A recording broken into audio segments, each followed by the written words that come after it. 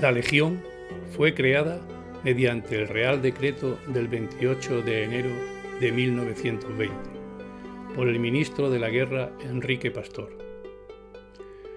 con el nombre de Tercio de Extranjeros. El objetivo era hacer frente, como ya había hecho Francia, a la dureza de los combates en las guerras del Rif, para los que las tropas de reemplazo no estaban preparadas, así como para reducir el clamor popular por las bajas recibidas. No obstante, se considera como la fecha de fundación oficial, la del alistamiento del primer legionario,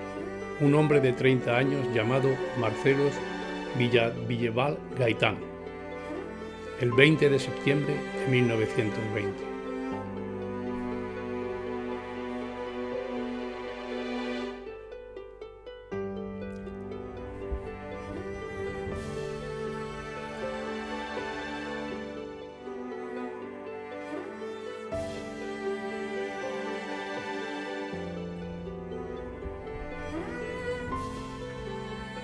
Su primer comandante fue el teniente coronel de infantería José Millán Astray, que tras su experiencia en Filipinas al mando de nativos tagalos, en Marruecos al mando de regulares e indígenas y habiéndose trasladado desde su anterior puesto en el regimiento Príncipe número 3, fue el sucesor del tercio de Lombardía, lo daría a la nueva fuerza su peculiar estilo y mística. Esta unidad encuadrada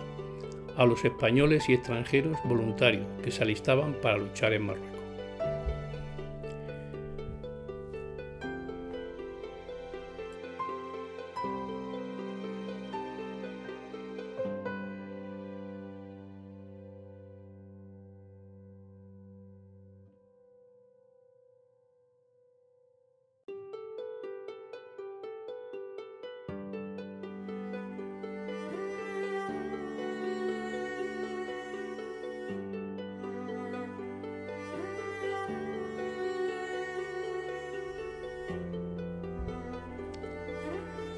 La confección de uniformes militares a escala 1.6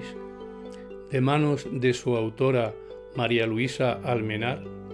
así como los elementos que guarnecen las figuras, forman parte de la exposición itinerante Modelo Histórico Militar Español.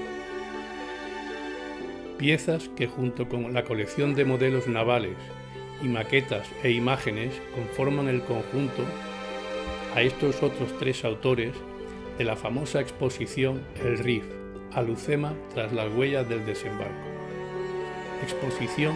donde las piezas de soldados y uniformes militares de la época, a rigurosa escala 1.6, dejan de ver los detalles de cómo vestían nuestros soldados en África.